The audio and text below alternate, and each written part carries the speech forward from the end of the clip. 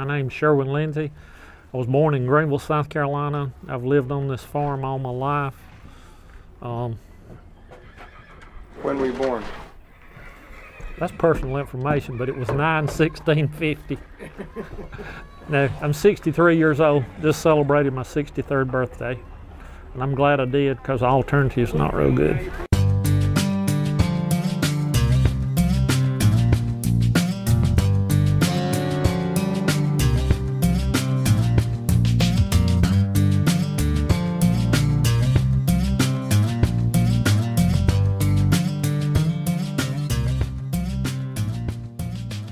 I started with horses when I was eight years old, really got serious when I was 13. I had a AAA racehorse when I was 13 years old that we trained and used for other events other than racing. And from that point on, just went on and on, probably over a thousand different horses and trained and broke probably about the same amount for other people during the years. I started off in the horse world, uh, trying different types of disciplines. And as I did one discipline, I would discover another one that was intriguing. In every different discipline I did, I learned something from.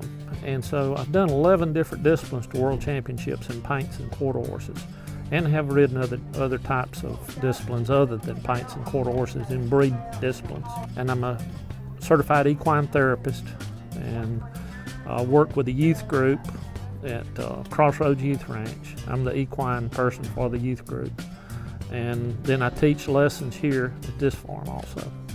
There's something about a horse and a relationship with a horse with a human that is so complex and intriguing that it draws the two together.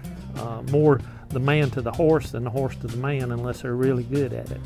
And once they become uh, knowledgeable in it, then you get to different levels of relationships with the horses. And that's what's kind of been intriguing to me through the years.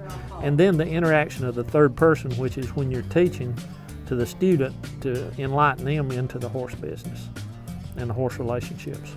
Through the years, probably the most exciting thing was to win. But I passed that point a little bit now.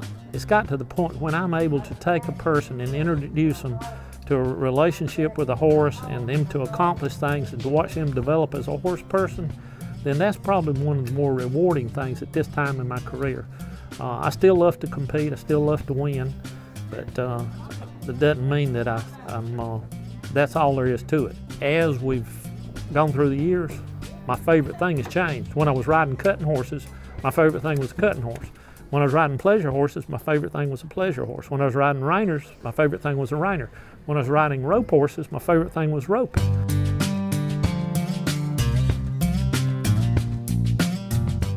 About anything that you apply to your horses can be applied to your life, and anything that you apply to your life can be applied to your horses.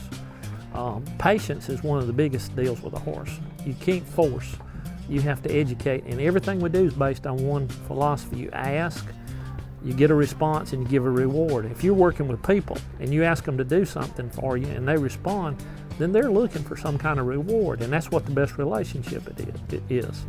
So that's it's a difficult thing to uh, sometimes find the right way to ask, and it's sometimes difficult to find the right reward. But if you do put it together correctly, that's when the success comes.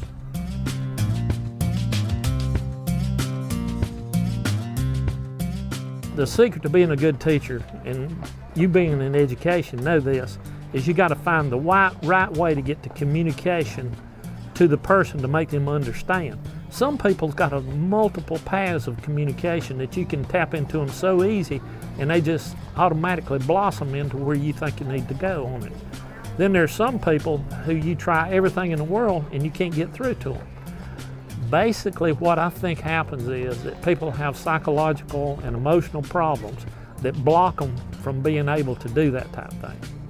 So uh, once you get that link where you're able to communicate with the people. You have to develop a relationship, good or bad or whatever. And then once you get that relationship developed, then you have the ability to make a positive move and positive steps. But without that relationship, you can't do it. Now, I've had several, probably as many as four or five horses that were unbreakable, absolutely unbreakable. Went to rodeo bucking horses. One of them was a horse of the year three years in a row.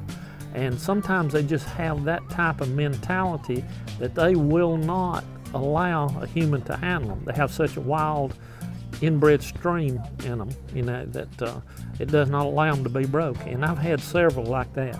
But it's a hard thing to determine whether I've not asked the right question or whether the are in the right way to get to this horse or whether this horse is not breakable at all. But there's a point in time you'll figure it out. About the time you get hurt pretty bad, you say it's time to go.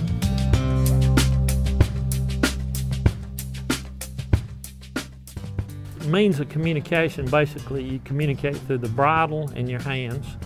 You communicate through your equilibrium, which is your upper body over your base, and you communicate with your legs. That's the only ways you got to communicate with the horse is through, through that type of thing. So, um, in communicating with a horse, you develop skills. Beginning riders totally communicate with their hands. As you learn communication skills, if you watch a good rider communicate to the horse, you never see his hands communicate to the horse hardly at all. It's mostly done with his seat, his equilibrium, which is upper body over base, and then his legs. And uh, that, that's what tells the horse to do what he needs to do. But there's a combination of aids when you communicate to the horse. Reins with legs with equilibrium, and you become less dependent on reins and more dependent on the other as the horse and the rider develops. And I've talked with you before about this, but you know, a rider that doesn't have good skills put on a horse that has good skills. What happens is the horse will migrate to the rider's level. All right? You take a rider that has excellent skills and a horse that doesn't have any skills, the horse will migrate to the rider's level, with one exception. You take the horse that has excellent skills, a rider that has no skills, with good instruction, the rider will elevate to the horse's level. And then that's why I always use real high level horses, my best horses to teach with, because when I'm there, I'm not going to let that happen. I'm not going to let somebody do something to the horse that makes it worse instead of better. So that way you get the rider develop much quicker on a good horse than you do on a horse that doesn't know anything. But this, there's a little bit of another side to that too. Like I've got people that come in that are I put them on a good horse and they're really good riders. But you take them off a really good horse and put them on a horse that's not trained real good, and they're lost. They don't have the communication skills to teach the horse how to ride. So what we, we do, we go back and we put them on this horse, and with good instructions, we teach them how to teach the horse. And that's when they become the best riders. Mr. Wallace says that the the secret, the number one requirement for being able to ride well is the absence of fear. Do you agree with that? I don't think so. I'd have to take I'd have to take issue with that. Um, I think a certain amount of fear is necessary. I think a secret to riding successful is knowledge, not absence of fear. I know at any point a horse can really hurt me, and I fear the fact if he does hurt me.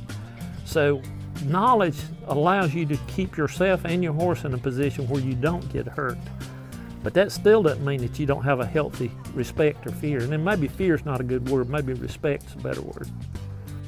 The first thing I would say is if you're just getting started, you don't have any knowledge, and it's better if you don't have any knowledge when you start. Start with a clean slate.